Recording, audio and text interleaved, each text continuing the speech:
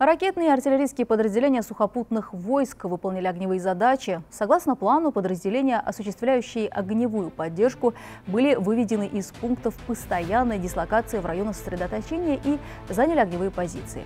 На учениях, проводимых в соответствии с условиями реального боя, были выполнены задачи по обнаружению и уничтожению точным огнем цели условного противника. Основной целью проведения учений является совершенствование управленческих навыков командиров ракетных и артиллерийских подразделений, повышение знаний и умений военнослужащих, а также планирование действий в ходе боевых операций и развитие взаимодействия с другими видами войск.